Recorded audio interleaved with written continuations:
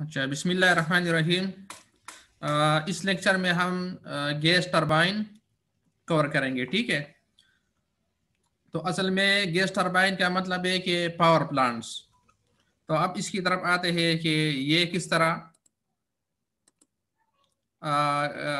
Different है vapour power plant से अच्छा आ, ये पाँच, छह चीज़ें हैं, ये मुख्तलिफ़ है। वेपर पावर प्लांट और गैस पावर प्लांट की। तो सबसे पहला जो कॉलम है, वो है गैस पावर प्लांट का और दूसरा कॉलम है, वेपर पावर प्लांट का। तो गैस पावर प्लांट अमूमन ये होता है कि ये लाइटर होते हैं, ठीक है? क्योंकि वर्क इन फ्लूड एयर होती है तो ये अमूमन क्या होते हैं? लाइटर होते हैं। जो वेपर पावर प्लांट है, वो हेवियर होते हैं। दूसरी बात है power power to weight ratio अगर आप पावर टू वेट रेशो की बात करें तो ये गैस पावर प्लांट की ज़्यादा है, बनस्बत वेपर पावर प्लांट की। अब power output to weight ratio क्या है? ये ये है फॉर एग्जांपल अगर हमारे पास एग्जांपल है जस्ट टेन किलोग्राम वाला क्या है, या सौ किलोग्राम वाला वेपर पावर प्लांट है, ठीक है? इसका जो वेट है तो इसकी बनस्बत ये पावर प्रोड्यूस करता है हंड्रेड मेगावाट तो क्या करेगा? वेपर पावर प्लांट 200 किलोग्राम वाला वही पावर प्रोड्यूस करेगा।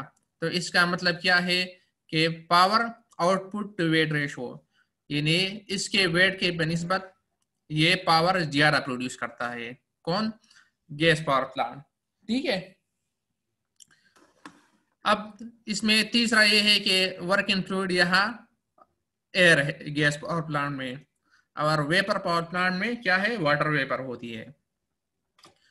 जो साइकिल है तो वो ब्रिटन साइकिल यूज़ होगा गैस पावर प्लांट में। जबकि वेपर पावर प्लांट में आपको पता है रिंकाइन साइकिल यूज़ होता है। अब फाइव पॉइंट ये है कि जो कंप्रेसर गैस पावर प्लांट में यूज़ होता है और वेपर पावर प्लांट में पंप यूज़ होता है। कंप्रेसर क्यों यूज़ होता है यहाँ? यहाँ एयर है। तो एयर को पंप करना इंतहाई मुश्किल है, ठीक है? फिर उसके लिए बहुत वर्क इन चाहिए। तो क्या होता है? पहले इस एयर को कंप्रेस करते हैं, इसका वॉल्यूम कम करते हैं। वॉल्यूम कम करने के बाद फिर इसको क्या करते हैं? वर्क एंड उस पे करते हैं। तो यही वजह है कि गैस पावर प्लांट में कंप्रेसर यूज़ होता है। अब लास्ट पॉइंट है वो बी डब्ल्यू आर है। बी डब्ल्यू आर आपको पता है बैक वर्क रेशो है, ठीक है? इसका मतलब है कि टरबाइन का कितना हिस्सा वर्क एन में वेस्ट हो गया। तो अमूमन गैस पावर प्लांट में ये 40 से लेकर 80 परसेंट तक ये होती है डिपेंड करता है। जबकि वेपर पावर प्लांट में ये क्या होता है? वन से लेकर टू परसेंट तक होती है। ये क्यों इतना ज़्यादा होती है? वजह ये है कि वेपर पावर प्लांट में क्या होता है? एयर होता है। और आपको पता है, एयर का जो वॉल्यूम है वो बहुत ज़्यादा होता है। तो वर्क बराबर है पी वी के। तो वी बहुत ज़्यादा है। यही वजह है कि बैक वर्क रेशो इस केस में बी बहुत ज़्यादा होगी। ठीक है? अच्छा अब component of gas power plants तो आप यहाँ देखते हैं, एक कंप्रेसर लगा हुआ है। ये कंप्रेसर क्या करता है? बाहर से एयर को कंप्रेस करता है। कंप्रेस करने के बाद क्या होगा? ये कंबस्टर चिम्बर में जाएगा और वहाँ फील होगा तो वो कंबस्टन प्रोसेस से हीट प्रोड्यूस होगा। इस हीट से क्या होगा? ये टरबाइन हमें वर्क आउटपुट देगा। तो आप देखते हैं कि ये कंपोनेंट क्या है? ये कनेक्टेड है लेकिन इसका एक साइकिल नहीं है। किस तरह? ठीक है वर्क इन भी है वर्क आउट भी है। इन दोनों का तो, तो बनता है। लेकिन यहाँ हम कहते हैं कि हीट एडिशन प्रोसेस है लेकिन हीट रिजेक्शन प्रोसेस वाला कंपोनेंट नहीं है। तो क्या करेंगे? हम इसका मॉडलिंग करते हैं। तो हम कहेंगे कि ठीक है कंप्रेसर तो अपनी जगह पे कंबक्शन चिम्बर नहीं है। या हम कहते हैं कि एक हीट एक्सचेंजर लगा है और बाहर से हीट आता है। ठीक है? इसकी वजह से जो एयर वो हार्ट होती है और वो क्या करता है? वो इस टरबाइन को चलाते हैं। ठीक है? और फिर वो एयर क्या होता है? वही एयर दोबारा हीट एक्सचेंजर में यहाँ आता है और हीट से हीट रिजेक्ट होता है और इसी तरह ये एयर चलता है। असल में हमारे पास ये जो रियल प्रोसेस है, इस तरह होता है, लेकिन हम इसको मॉडल इसी तरह करते हैं। इसमें डिफरेंस क्या है? यह हमारे पास कंडेंसर नहीं है। कंडेंसर का मतलब है कि हीट रिजेक्शन कंपोनेंट हमारे पास नहीं है। हमने कहा कि ठीक है, यहाँ एक हीट एक्सचेंजर है, और वो हीट रिजेक्ट करता है एयर इस एयर से। एक बात ये हो गई। दूसरी बात ये हुई कि कंबक्शन चिम्बर भी नहीं है। हम कहते हैं कि यहाँ भी हीट एक्सचेंजर है और यहाँ बाहर से हीट आता है। और एयर क्या होता है?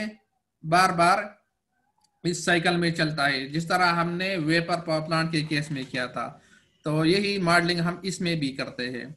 क्योंकि हमारे पास रियल में क्या होता है? बार बार फ्रेश एयर आती है, ठीक है?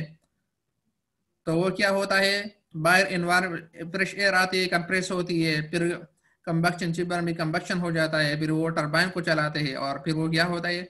हम बाहर छोड़ दे फिर दोबारा फ्रेश एयर आती है। लेकिन हमने इसकी मॉडलिंग अब इसी तरह की कि वही सेम एयर है बार बार इसी कंपोनेंट के अंदर चलती है। ठीक है?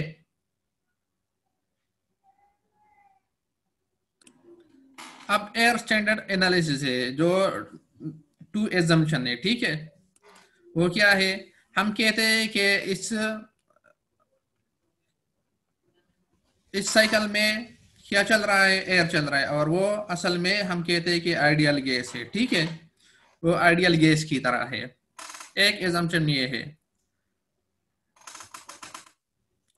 दूसरा एजम्पन जो है, हम कहते हैं कि दूसरा एजम्पन ये है कि जो हीट एडिशन है और हीट रिजेक्शन है, वो हीट एक्सचेंजर के ज़रिए होता है, ठीक है? ये दो एजम्पन है, इसको हम कहते हैं कि एयर स्टैंडर्ड एनालिसिस बात समझ गए? एयर स्टैंडर्ड एनालिसिस में क्या है? दो एजम्पन है। वो क्या करते हैं? एयर को क्या करते हैं? वर्क इन फ्लूड कंसीडर करते हैं और ये हम कहते हैं कि ये एक आइडियल गैस है। दूसरा ये है कि जो हीट एडिशन प्रोसेस है और हीट रिजेक्शन प्रोसेस है। ये हीट एक्सचेंजर के ज़रिए होता है।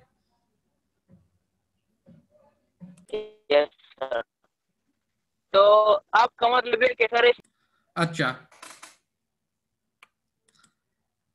अब एयर स्टैंडर्ड एनालिसिस है, ठीक है? एयर स्टैंडर्ड का मतलब वही टू फाइंड हो गया कि एयर क्या होगा? आइडियल गैस होगा, ठीक है?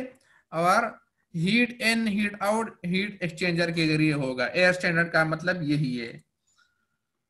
अब ब्रेटन साइकिल क्या है? वो बिल्कुल रेंकाइन साइकिल की तरह है, ठीक है?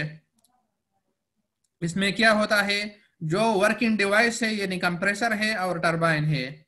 तो इसके अंदर प्रोसेस हम क्या लेंगे? वो कांस्टेंट एंट्रोपी पे।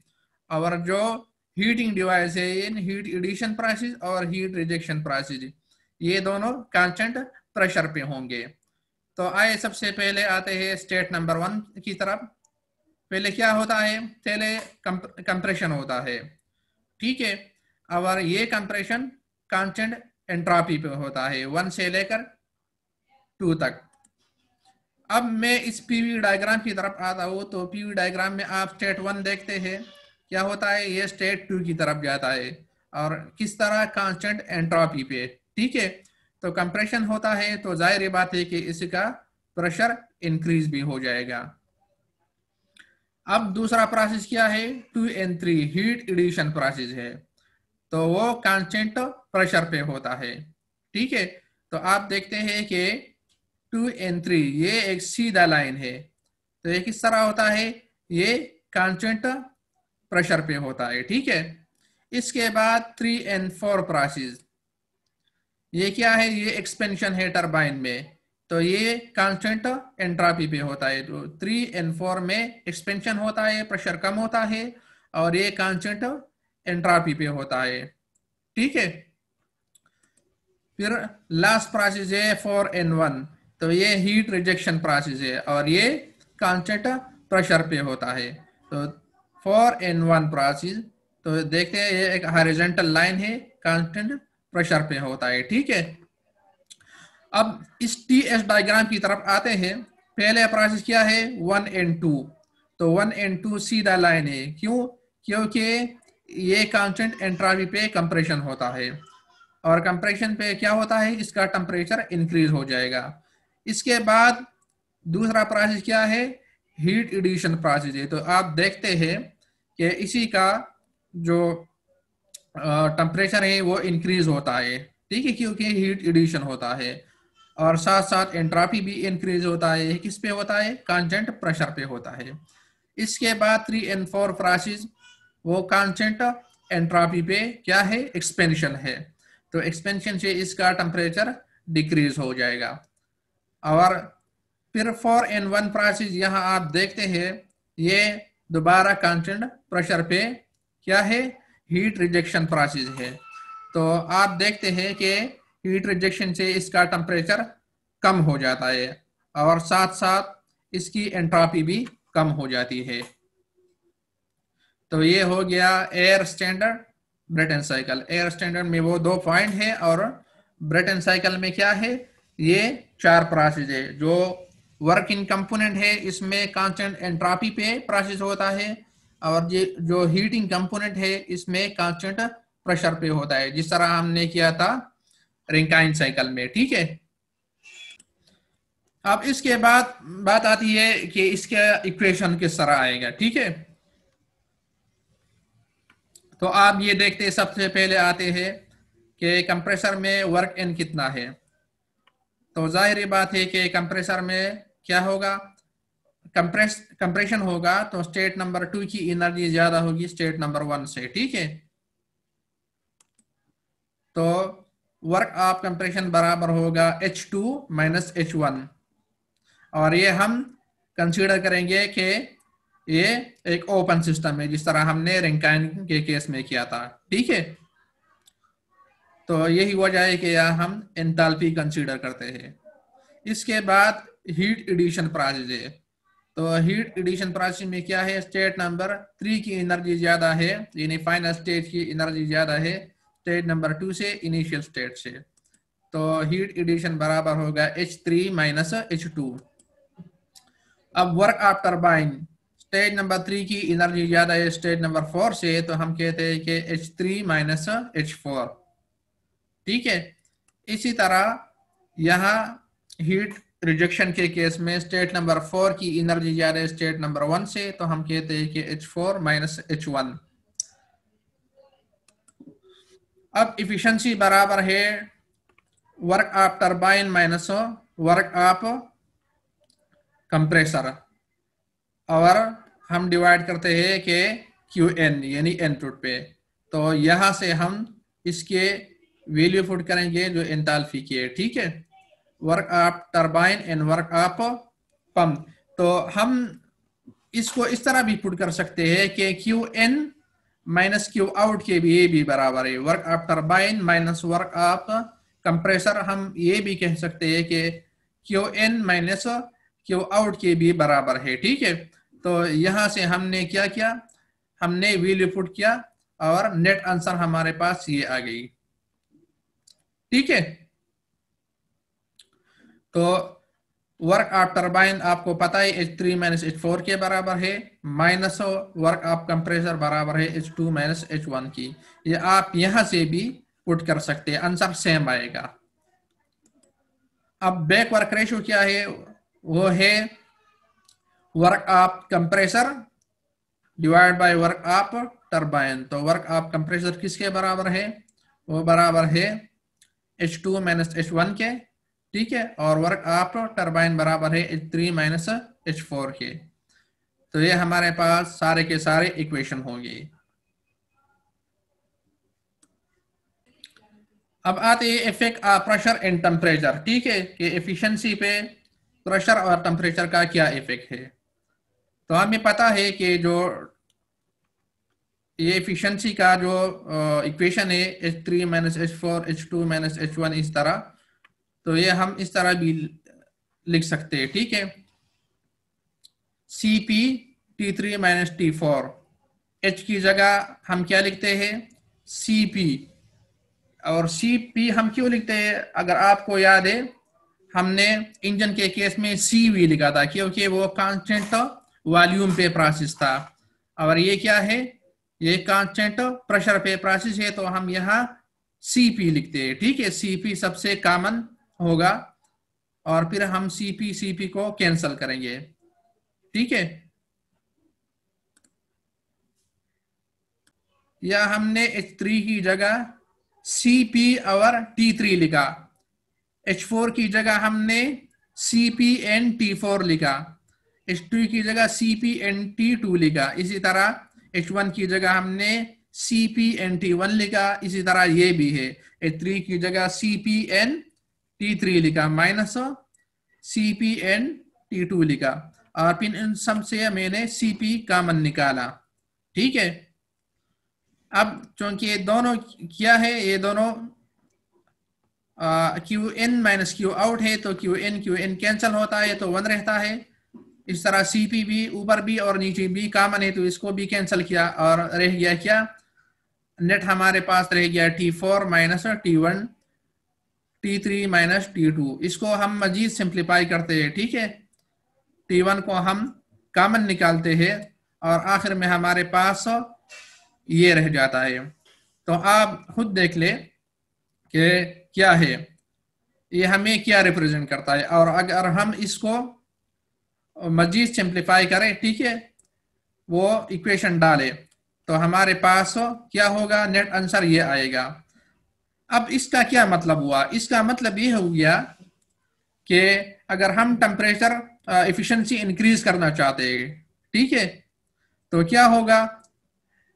आप हीट एडिशन की टेम्परेचर को इंक्रीज करें, ठीक है? हीट एडिशन टेम्परेचर आप इंक्रीज करें या क्या करें? हीट रिजेक्शन टेम्परेचर आप डिक्रीज करें। इसका मतलब है हीट एडिशन टेम्परेचर आप आसानी के साथ इस तरह भी कंसीडर कर सकते हैं कि बॉयलर का टेम्परेचर आप इंक्रीज करें। ठीक है? तो क्या होगा? इफिशिएंसी इंक्रीज हो जाएगी। अगर आप कंडेंसर का टेम्परेचर डिक्रीज करें तो इसके साथ भी क्या होगा? एफिशिएंसी इंक्रीज हो जाती है। अब प्रेशर की तरफ़ आते हैं तो pressure P2 two minus P two divide by P one यहाँ लिखा है, ठीक है? तो इसका मतलब ये है, अगर आपके पास एफिशिएंसी इंक्रीज होती है, जब आप क्या करें? कंप्रेसर के प्रेशर रेशो को आप इंक्रीज करें। अब प्रेशर रेशो आप कंप्रेसर क्या है? प्रेशर रेशो आप कंप्रेसर ये है कि फॉर एग्जांपल हमारे पास क्या है? हमारे पास P1 टेम्परेचर है क्या? प्रेशर है। बिफोर कंप्रेशन और P2 क्या है? ये प्रेशर है आफ्टर कंप्रेशन तो अगर इस रेशो को हम इंक्रीज करें, यानी ऐसा कंप्रेसर लगा दे, जो बहुत हाई प्रेशर पे वो कंप्रेशन करता है। ठीक है? तो इसको हम क्या कहते हैं? इसको हम प्रेशर रेशो कहते हैं। यहाँ P1 क्या है? बिफोर कंप्रेशन प्रेशर है और P2 क्या है? आफ्टर कंप्रेशन प्रेशर है। इन दोनों के जो रेशो है, इसको हम कहते हैं प्रेशर रेशो तो ये रेशो जितना ज़्यादा होगा तो इतना ही हमारे पास एफिशिएंसी ज़्यादा हो जाएगा, ठीक है? तो अब दो बातें आ गई। आपने हीट एडिशन टेम्परेचर को इंक्रीज करना है। या हीट रिजेक्शन टेम्परेचर को डिक्रीज करना है तो हमारे पास इफिशियंसी इंक्रीज हो जाएगी। दूसरी बात है कि ऐसा कंप्रेसर चाहिए जो बहुत हाई कंप्रेशन करता है। आसान अल्फाज में हम इस तरह कह सकते हैं, या हम इस तरह कह सकते हैं कि इसका प्रेशर रेशो बहुत ज़्यादा होना चाहिए तो इसी का इफिशियंसी भी ज़्यादा हो जाएगा, ठीक है? अच्छा इस डायग्राम में आप देखते हैं कि यह हमारे पास दो साइकिल है, ठीक है? एक है one, two, three and four ठीक है, एक साइकिल ये हो गया और एक है one, two dash three dash four dash and one तो हमारे पास हो दो मुख्तलिफ़ साइकिल है, ठीक है? इस साइकिल में डिफरेंट है कि one, two dash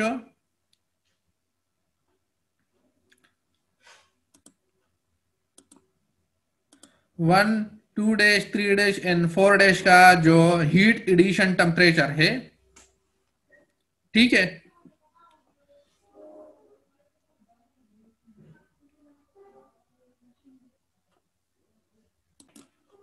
heat addition temperature दोनों का सेम है। देख ले थ्री डैश एन थ्री दोनों का जो टेम्परेचर है वो सेम है। इसी तरह हीट रिजेक्शन टेम्परेचर भी सेम है। डिफरेंस क्या है? डिफरेंस कंप्रेशन रेशो में है। ठीक है? तो one two dash three dash and four dash का जो कंप्रेशन रेशो है वो ज़्यादा है। बनस्बत one two three and four and one cycle से। ठीक है? ये जो आपको नज़र आ रहा है, ये साइकिल इसी का कंप्रेशन रेशो कम है। और one, two, three, and, four, dash, and, one. इसी का जो कंप्रेशन रेशो है वो ज़्यादा है। तो जाहिरी बात है कि इसी का क्या ज़्यादा होगा? इसी का एफिशिएंसी ज़्यादा होगा। ये हमने पहले बात की, जितना कंप्रेशन रेशो इंक्रीज होगा तो इतना क्या होगा? इतना ही हमारे पास कि जितना ही प्रेशर रेशो ज़्यादा होगा तो इतना हमारे पास इफिशियंसी ज़्यादा होगा। तो जो ये साइकिल ए है one two dash three dash four dash and one इसी का इफिशियंसी ज़्यादा होगा। One two three four and one का, ये जो बी साइकिल है, इसका एफिशिएंसी कम होगा। अब दोनों के एफिशिएंसी में डिफरेंस है। लेकिन मसला क्या है, पता है आपको? इसी का कंप्रेशन रेशो ज़्यादा है साइकिल ए का। तो इसी का वर्क आउटपुट कम होगा, ठीक है? और साइकिल बी है, इसका वर्क आउटपुट ज़्यादा होगा। क्यों ज़्यादा होगा? क्योंकि हमें पता है वर्क बराबर है पी वी के। तो इसी का क्या होगा? इसी का वॉल्यूम बहुत ही कम होगा कंप्रेशन से। किसी का? इसी साइकिल ए का। और साइकिल बी का जो वॉल्यूम है, वो इसके बनस्बत साइकिल ए के बनस्बत ज़्यादा होगा। तो यही वजह है कि हीट एडिशन और हीट रिजेक्शन टेम्परेचर दोनों का एक है, लेकिन फ़र्क किसमें है? फ़र्क सिर्फ़ कंप्रेशन रेशो में है। तो साइकिल ए का इफिशियंसी ज़्यादा है साइकिल बी से, लेकिन साइकिल बी का जो वर्क आउटपुट है वो ज़्यादा होगा साइकिल ए से। यह आप देखते हैं दो साइकिल ठीक है? दो लाइन आप देखते हैं। ये मुख्तलिफ़ कंप्रेशन रेशो है। ठीक है? और यह आप देखते हैं इफिशियंसी तो ये वाला जो साइकिल है ये वाला जो कर्व है, नीचे वाला, इसकी एफिशिएंसी कम है, बनस्बत किसके? जो ऊपर वाला है, ठीक है? तो अब देखते हैं कि जो नीचे वाला साइकिल है, इसमें हमारे पास क्या है? एफिशिएंसी कम है, जो ऊपर वाला साइकिल है, ठीक है? इससे ठीक है? आप देखते हैं यहाँ कि यह हमारे पास इस नीचे वाले में क्या कम है? इसमें हमारे पास इफिशियंसी कम है। तो इफिशियंसी कम है, ठीक है? और ऊपर वाले में हमारे पास इफिशियंसी ज़्यादा है। तो यह हमें आप देखते हैं फॉर एग्जांपल हम देखते हैं टेन पे। तो इस टेन पे हमें तकरीबन मास फ्लो रेट चाहिए कितना? वो तकरीबन 300 के लगभग चाहिए। जबकि ऊपर वाले में हमारे पास क्या ज़्यादा है? एफिशिएंसी ज़्यादा है। तो इसी पे हमारे पास क्या है? मास रेट ज़्यादा चाहिए। तकरीबन 500 या 600 के करीब करीब चाहिए। ठीक है? 550 या 600 के करीब करीब चाहिए। तो अब बात यह होगी कि कंप्रेशन रेशो से क्या होगा? एफिशिएंसी ज़्यादा होगी। एक बात तो है। लेकिन आपका जो वर्क आउटपुट है, वो डिक्रीज हो जाएगा। तो अगर आप इसको इंक्रीज करना चाहते हैं वर्क आउटपुट को तो फिर आप क्या करेंगे? फिर आप मास फ्लो रेट को इंक्रीज करेंगे। ठीक है? अब आते हैं इरिवर्सिबिलिटी की तरफ़, कि इस इसमें क्या है? इरिवर्सिबिलिटी भी होती है और मुख्तलिफ़ लासेस भी होती है। तो क्या होता है? हमने इरिवर्सिबिलिटी किधर से आ गई? ये फ्रैक्शन होता है, मुख्तलिफ़ लासेस होती है। हमने कहा था कि हीट एक्सचेंजर और हीट रिजेक्ट जो हीट एक्सचेंजर है, इससे लॉस नहीं होता। इस तरह कंप्रेसर और टरबाइन से भी हीट लॉस नहीं होता। या हमने कहा था कि फ्रिक्शन नहीं होता। तो ये सारी चीज़ें होती है। ठीक है? अब ये देखते हैं, ये हमारे पास टी एस डायग्राम है। इस टी एस डायग्राम में आप दो लाइन देखते हैं। ठीक है? ब्लू कलर में और दूसरा है डार्क ब्राउन कलर में। तो असल में जो डार्क ब्राउन कलर में है, ये आपको बताता है कि ये रिवर्सिबिलिटी इसमें मौजूद है। हमारे पास वन टू टू प्रोसेस है, वो कांस्टेंट एंट्रापी पे नहीं होता। क्या होता है? वो असल में इस तरह होता है कि एंट्रापी इंक्रीज हो जाती है। अगर ये कांस्टेंट एंट्रापी पे होता तो ये सीधा लाइन होता। तो आप देख ले, ये सीधा लाइन नहीं है, बल्कि किसकी तरफ़ पे जो इंक्रीज इन एंट्रापी की तरफ़ है। इसी तरह हमारे पास जो हीट एक्सचेंजर में है, वो क्या होता है? प्रेशर कांस्टेंट नहीं होता। ठीक है? वो प्रेशर हम चाहते कि ज़्यादा हो जाए तो अच्छा है हमारे लिए। लेकिन यहाँ हमारे पास प्रेशर रियल से कम होता है। इसी तरह टरबाइन में भी हमारे पास क्या होता है? एफिशिएंसी का जो कर्व है एंट्रॉपी का सॉरी तो वो सीधा लाइन नहीं है, बल्कि ज़्यादा एंट्रॉपी की तरफ़ है। ठीक है? इसी तरह हम चाहते हैं कि हीट एक्सचेंजर में जितना प्रेशर कम हो तो फ़ायदा है, लेकिन यह हमारे पास रियल से ये प्रेशर ज़्यादा है। तो ये मुख्तलिफ़ किस्म के रिवर्सिबिलिटी मौजूद है। अब इसी टरबाइन की परफॉर्मेंस को हमने इम्प्रूव करना है। ठीक है? तो ये हमने पहले भी कहा था रिंकाइन साइकिल के केस में वो मुख्तलिफ़ प्रोसेस है। इसकी वजह से हम क्या करते हैं? इसकी एफिशिएंसी को इंक्रीज करते हैं। अब आती है बात यहाँ isentropic efficiency of turbine and compressor तो ज़ाहिर बात है कि टर्बाइन के केस में हमारे पास जो रियल वर्क होता है, वो कम होता है, ठीक है? तो और जो आइडियल वर्क है, वो ज़्यादा होता है। तो यही वजह है कि हमने आइजेंट्रॉफिक एफिशिएंसी ऑफ़ टरबाइन के केस में रियल वर्क को ऊपर लिखा है, क्योंकि वो कम होता है। और जो आइडियल है, वो ज़्यादा होता है तो हमने ये नीचे लिखा है। ठीक है? जिस तरह हमने रिंकाइन साइकिल के केस में किया था। इसी तरह कंप्रेसर के केस में हमारे पास रियल वर्क इन ज़्यादा होता है, जबकि आइडियल वर्क हमारे पास कम होता है। तो ये हम किस तरह लिखेंगे? जो आइडियल वर्क है, वो कम होता है वर्क इन तो हम ऊपर लिखते हैं और रियल वर्क इन वो क्या है? ज़्यादा है तो हम नीचे लिखते हैं। ठीक है? अब ये है कि how to improve the performance of a gas power plant तो एक एक प्रोसीजर ये रीजनरेशन ये हमने पहले भी किया था रीजनरेशन लेकिन वो वेपर पावर प्लांट में था। रीहीटिंग और इंटरकूलिंग ये तीन प्रोसेस है। इसके ज़रिए हम क्या कर सकते हैं? इसकी परफॉर्मेंस को इम्प्रूव कर सकते हैं। अब यह हम सुपर हीटिंग और सुपर क्रिटिकल हीटिंग नहीं करते। ठीक है? वजह क्या है? वजह यह है कि ये ऑलरेडी गैशियस स्टेट है। तो सुपर हीटिंग और सुपर क्रिटिकल हीटिंग हम किसके लिए करते थे? ताकि हमारे पास क्या हो जाए? वो है स्टीम की क्वालिटी हम कहते हैं कि स्टीम की क्वालिटी इंप्रूव हो जाए तो यहाँ ऑलरेडी गैशियस स्टेट है एयर तो यह स्टीम की क्वालिटी का कोई कंसेप्ट नहीं है। तो यही वजह है कि सुपर हीटिंग और सुपर क्रिटिकल हीटिंग यहाँ नहीं है। सिर्फ़ हमारे पास regeneration reheating and intercooling है।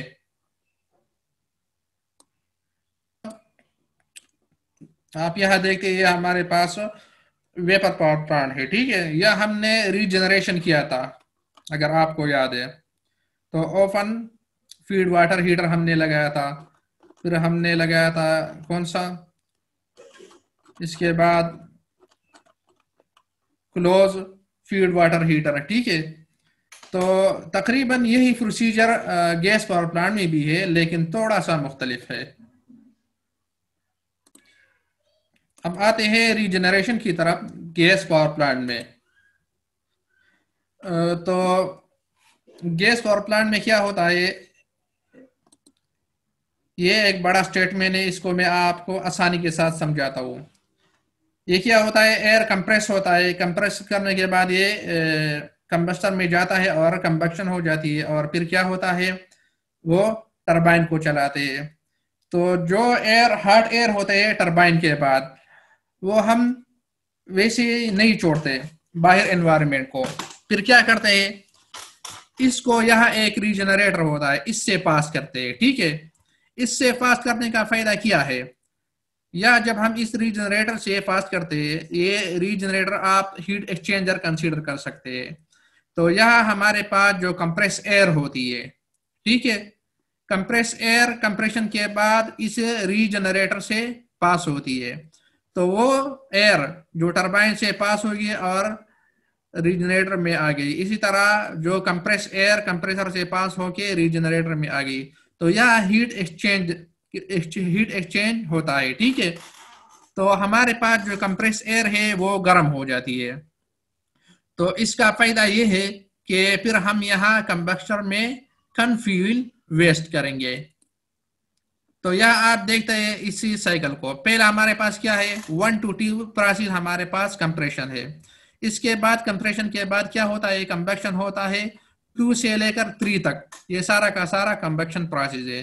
फिर क्या होता है? थ्री से लेकर फोर तक हमारे पास टर्बाइन होता है। और फोर के बाद दोबारा क्या होता है? हमारे पास ये आ, हीट रिजेक्शन होता है। ठीक है? तो जब वन टू टू ये कंप्रेस हो जाती है तो फिर क्या होता है? ये टू से लेकर एक्स तक आती है। टू एन एक्स तो क्या होता है? यहाँ हम हीट कंबक्शन में हीट एडिशन से पहले ये हीट अप होता है। कितना हीट अप होता है? यहाँ एक्स तक ये हीट अप होता है।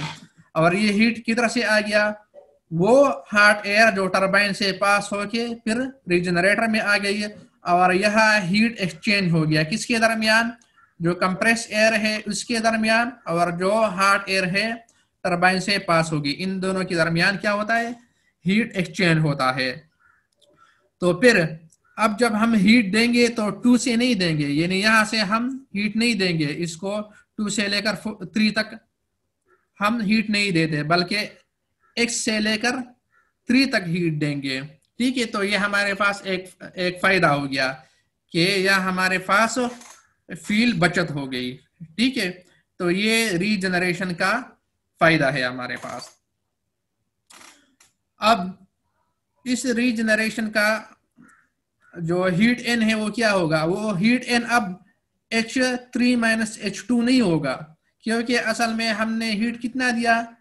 H three minus H X दिया। तो अब हमारे पास जो रीजनरेशन है, हमारे पास हीट एन है, वो बराबर है H three minus H X ठीक है? तो ये हमारे पास रीजनरेशन हो गया, ठीक है? तो ये सारे बातें इस, इसके अंदर लिखी है तो ये मैंने आसान अल्फाज में आपको बता दिया। अच्छा इसमें दूसरा चीज़ है रीजनरेटर इफेक्टिवनेस तो ये इस तरह है कि इसकी एफिशिएंसी क्या है, ठीक है? आसान अल्फाज में हम इस तरह कह सकते हैं कि इसका मतलब है कि रीजनरेटर का एफिशिएंसी क्या है? तो आप देखते हैं यहाँ, ये बराबर है H X minus H two ठीक है? अब यहाँ आप देखते हैं कि हीट एक्सचेंज होता है इस रीजनरेटर में। तो यह हमारे पास दो स्टेट है। एक फोर ठीक है? एक फोर एन टू है। और एक क्या है? एक हमारे पास टू एन एक्स है। ये दो स्टेट है। या हमारे पास जो हम कंसीडर करते हैं कि फोर फोर और टू के दरमियान ये हम कंसीडर करते हैं कि हमारे पास एक इनपुट है। और हमारे पास ये क्या होता है? ये हीट अप होता है। ठीक है? ये एयर कंप्रेस एयर टू और एक्स के दरमियान। तो हम कहते हैं कि रीजनरेटर का इफेक्टिवनेस है, वो हम किस तरह फाइंड करेंगे? तो जो इनपुट है इनपुट क्या है? H four minus H two H four minus H two ये देख ले आप। ये हमने नीचे लगाया। और जो आउटपुट है, ये कित कितना ये हीट अप हो गया तो वो है H X minus H two तो इतना हमारे पास हीट अप हो गया। तो फिर इसके रेशो को हम कहते हैं कि ये इफेक्टिवनेस है। ठीक है? तो असल में ये हमें बताते हैं कि ये असल में जो एयर हार्ट एयर है, वो टरबाइन से जाती है। ठीक है? तो इसने अपना कितना परसेंट हीट दिया इस कंप्रेस एयर को? तो ये हमारे पास हो गया रीजनरेटर इफ़ेक्टिव यानी हार्ट एयर ने टरबाइन के बाद जो हार्ट एयर है, उसने अपना कितना परसेंट हीट दिया किसको? इस कंप्रेस एयर को। तो इसको हम कहते हैं रीजनरेटर इफेक्टिवनेस ठीक है? अगर ये हमारे पास आइडियल प्रोसेस है, यानी इरिवर्सिबिलिटी मौजूद नहीं है तो आप यहाँ देखते हैं या एक है हमारे पास कोल्ड कोल्डर स्टीम एन यानी टू से ये एयर आती है और फिर ये इसका ये एक्स वाला स्टेट है, ये दूसरा। यहाँ से हमारे पास हार्ट एयर फोर्स से आती है हार्ट हार्टर स्टीम एन और फिर वो दूसरे साइड पे जाती है, ठीक है? तो क्या होता है? हीट एक्सचेंज होता है इनके दरमियान। अगर ये रिवर्सिबिलिटी इसमें मौजूद नहीं है तो हमारे पास इन दोनों का जो टेम्परेचर है, इसमें ये जो डिफरेंस है, बहुत कम होगा।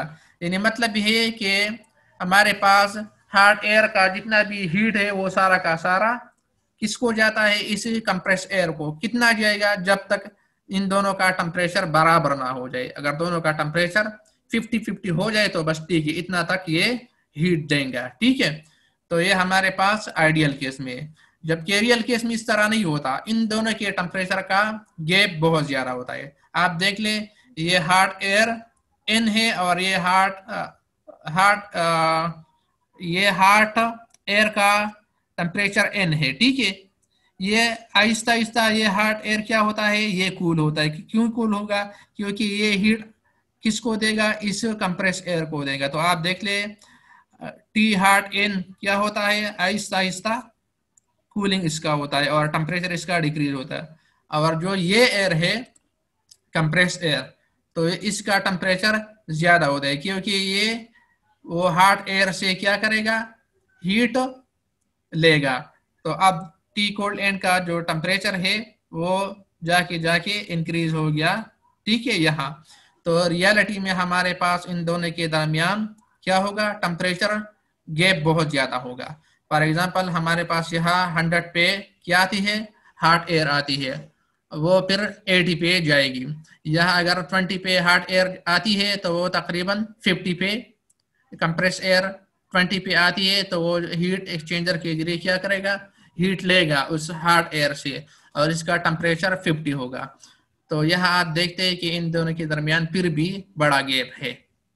ठीक है, ये रियलिटी में इस तरह होता है।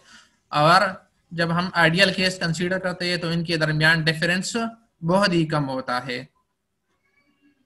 तो अब रीजनरेटर का इफेक्टिवनेस क्या है? ये हमें बताता है कि हार्ट एयर से इस, इसने कितना परसेंट हीट लिया है? किसने इस कंप्रेस एयर ने हार्ट एयर से कितना परसेंट हीट लिया है? इसके बाद है रीहीटिंग तो रीहीटिंग क्या है? रीहीटिंग वही है कि हम मल्टी स्टेट टर्बाइन लगाते हैं ठीक है? और हमारा जो एम है वो क्या होता है कि हम वर्कआउट को इंक्रीज करें ठीक है? तो रीहीटिंग का मतलब यही है कि हम मल्टी स्टेट टर्बाइन लगाते हैं। देखिए टर्बाइन वन टर्बाइन टू इसी तरह।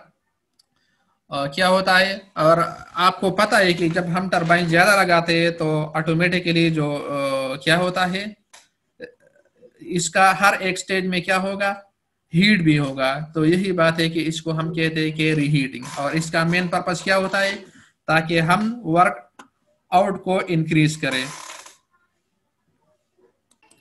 आप यहाँ देखते हैं ये वेपर पावर प्लांट है तो इसमें रीहीटिंग है। देखते टर्बाइन वन है, और टर्बाइन टू है। इसको फिर क्या करते हैं?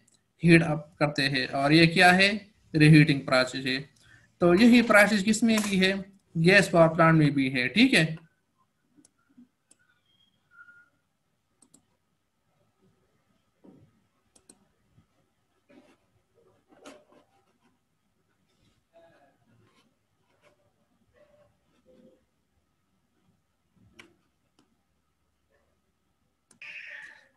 तो आप देखते हैं यही प्रोसेस किसमें है? गैस पावर प्लांट में भी है। मुख्तलिफ़ स्टेज के टर्बाइन है और हर टर्बाइन के दरमियान क्या है? हीटिंग है। तो इसको हम कहते हैं रीहीटिंग। अगर ये, पहले प्राइस में क्या होता है? वन, टू, थ्री और फिर इस तरह फोर डैश। जब हमने रीहीटिंग की तो इसमें आप ये इजाफी पोर्शन देखते हैं। Four dash A, B and four. ये हमारे पास रीहीटिंग से इजाफी पोर्शन आ गया। ठीक है? इसके बाद है हमारे पास ये जो लास्ट टॉपिक है, वो है इंटरकूलिंग इंटरकूलिंग का मतलब क्या है? और इंटरकूलिंग का मतलब है कि हम इसको कूल करते हैं, ये एयर को। और पर्पज हमारा क्या होता है कि हम वर्क एन को डिक्रीज करें। आपको पता है कि कूलिंग से क्या होता है? वॉल्यूम डिक्रीज होता है। तो कूलिंग से वॉल्यूम डिक्रीज होता है तो पी वी जब वी डिक्रीज होता है तो हमारे पास हो वर्क एन भी डिक्रीज हो जाएगा। तो क्या होता है, या हम मल्टी स्टेज कंप्रेसर लगाते हैं। पहले कंप्रेसर में हम क्या करते हैं, इसको कंप्रेस करते हैं, ठीक है थोड़ा सा फिर इसको हम कूल करते हैं, इस एयर को। कूल करने से क्या होगा हीट रिजेक्ट होगा और इसका वॉल्यूम कम होगा। तो जब हम दूसरे स्टेज में इसको कंप्रेस करते हैं तो हमारे पास वर्क एंड है, वो बहुत ही कम होगा। तो इंटरकूलिंग का मतलब है कि हम क्या करते हैं? कंप्रेस एयर को कूल करते हैं ताकि इसका वॉल्यूम कम हो जाए और हमारे पास जो वर्क इन है, वो डिक्रीज हो जाए। ठीक है? यहाँ आप देखते हैं वन से लेकर सी तक वन से लेकर सी तक क्या होता है? इसी को कंप्रेस करते हैं, ठीक है? फिर इसी पी आई पे यहाँ जो हीट रिजेक्शन होता है इंटरकूलर में तो इसको क्या करते हैं? इसी को कूल करते हैं। और फिर इसके बाद इसका दोबारा कंप्रेस करते हैं डी से लेकर टू तक।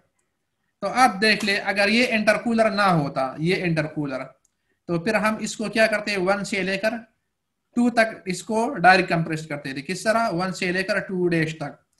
लेकिन इस इंटरकूलर की वजह से हमने क्या किया? वन से लेकर सी तक और फिर सी से डी तक और डी से टू तक। तो आप अगर हाइट मेजर करें, वन से लेकर टू तक जो हाइट है, ठीक है, ये लाइन का जो हाइट है, वो बहुत ही कम हो है। किससे? वन आवर टू डेज़ से। तो इस इंटरकूलर का फ़ायदा ये हो गया, ठीक है, कि हमने क्या किया? हमारे पास जो वर्क एन है, वो हमारे पास डिक्रीज हो गया। आप देखते हैं कि वन टू डेज़ का जो लेंथ है, वो ज़्यादा है। किससे? वन टू से। तो ये इस इंटरकूलर का फ़ायदा हो गया हमारे पास कि वर्क इन हमारे पास डिक्रीज हो गया। ठीक है?